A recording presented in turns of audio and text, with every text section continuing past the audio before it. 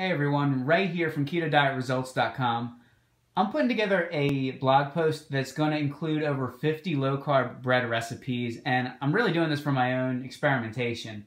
I haven't made that many bread recipes. Most of the time I just go without bread. The goal of this for myself is just to find new recipes that I really enjoy using ingredients that I already have. And I'm going to start today with the easiest recipe that I found for almond flax bread this recipe is from HealyEatsReal.com, and I'll include that in the description below.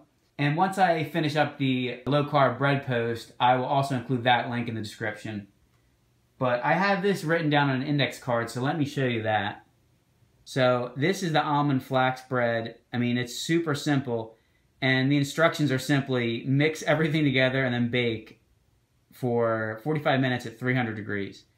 So this is going to be another short video. I don't have to show you a lot of the process here.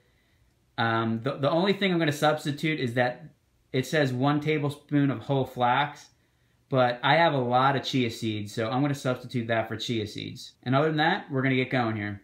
I got all the dry ingredients in this bowl, and I beat up the eggs in the white bowl on the left, and I greased the loaf pan with coconut oil.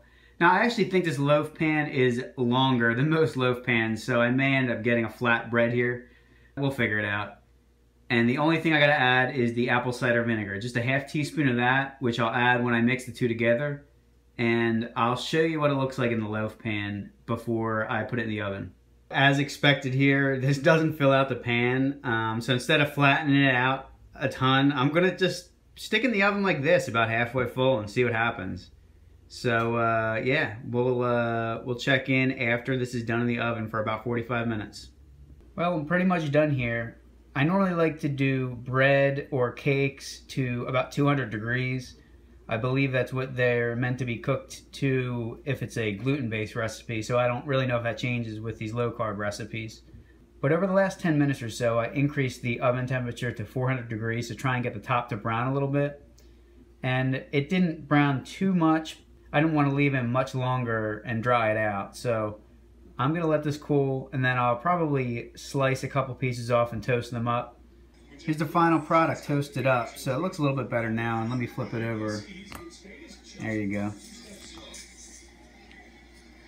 So you can see it actually does look like bread and it's, it's a little more crumbly but I mean I like this a lot. And I think if I did it in a proper size loaf pan it might have risen a little bit more. And the other thing I might try and do is separate the eggs and beat up the egg whites and see if that makes a difference in terms of making it a little bit um, airier. But overall, I like this. I'm going to slice these up, and I'm probably going to freeze about half of it. And put a few slices in the fridge and then toast them up and eat it like this. Maybe with some peanut butter or cream cheese. So if you try this recipe out, let me know.